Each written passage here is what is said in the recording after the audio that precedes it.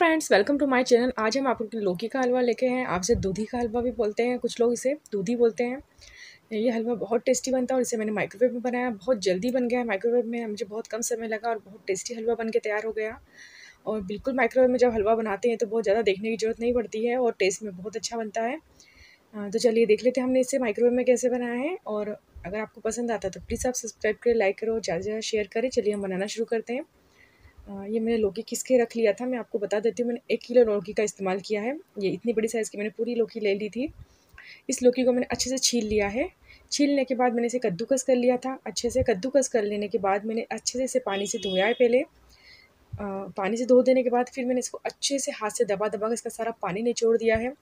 क्योंकि कभी कभी लौकी में तोरापन आता है तो उससे टेस्ट बहुत बेकार लगता है, हलवा अच्छा नहीं बनता है, थोड़ा तोड़ा तोड़ा टेस्ट आने लगता है, जो बच्चों को, बड़ों को, किसी को पसंद नहीं आता। है इसलिए आप हमेशा लौकी को अच्छे से साफ़ पानी से धो के उसका पूरा पानी निचोड़ ले और इस तरह से इसको रख ले, बना के, तैयार करके रख ले। चलिए हम एक बाउल ले लेते हैं। बाउल में हमें क्या करना है, सारा लौकी जो हमने किसके रख लिया है, वो ले लेंगे।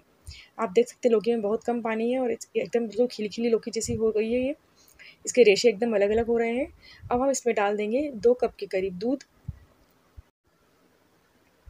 दूध हमने नॉर्मल टेम्परेचर का लिया है। अब हम इसमें डाल देते हैं घी। अगर आप छोटे चम्मच का इस्तेमाल कर रहे हो तो दो चम्मच और इस चम्मच का इस्तेमाल कर रहे हो तो एक चम्मच। इसे थोड़ा सा मिक्स कर देना है। बस मिक्स ही करना है इसको, क्योंकि आप जैसे ही माइक्रोवेव में रखेंगे ऑटोमेटिक पिघल जाएगा घी पूरा। इसलिए आप इस तरह से इसको थोड़ा सा चला के रख दें। देखिए, इसी तरह से आपको इसे मिक्स कर लेना है। अब हम इसे रख देंगे माइक्रोवेव में। चलिए, हम माइक्रोवेव में रखते हैं। इसे हमें फुल पावर पे बनाना है। फुल पावर पे आप कोई चीज़ बनाते हैं तो उस पर आप सिर्फ़ प्लास्टिक के बर्तन और ग्लास के बर्तन का ही इस्तेमाल कर सकते हैं। मेटल और इसलिए के बर्तन का इस्तेमाल आप नहीं कर सकते हैं।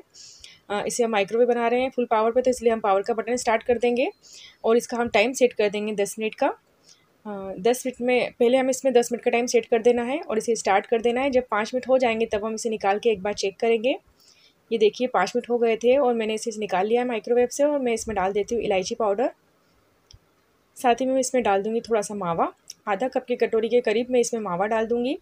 अगर आपके पास मावा नहीं है तो आप इसमें एक कटोरी, छोटी एक कटोरी के करीब मलाई डाल सकते हैं। घर की बनी हुई ताज़ी मलाई जो रहती है, वो डाल सकते हैं।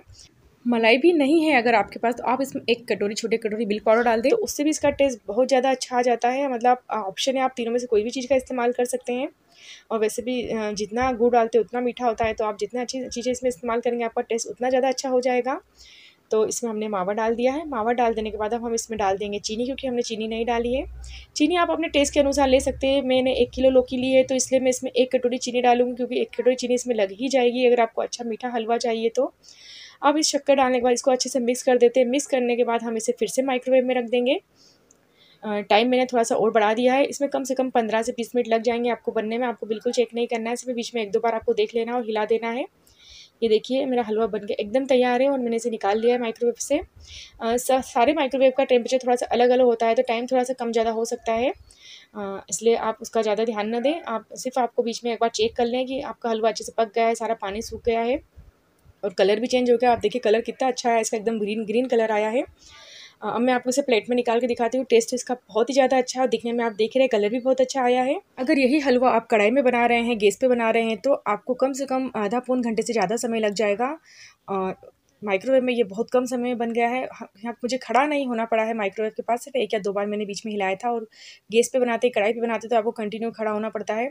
तो आप इसे एक बार माइक्रोवेव बनाए और अपना समय बचाए और टेस्ट तो बहुत ही अच्छा बनता है माइक्रोवेव में। तो thank you so much for watching और इसे एक बार ज़रूर ट्राई करें।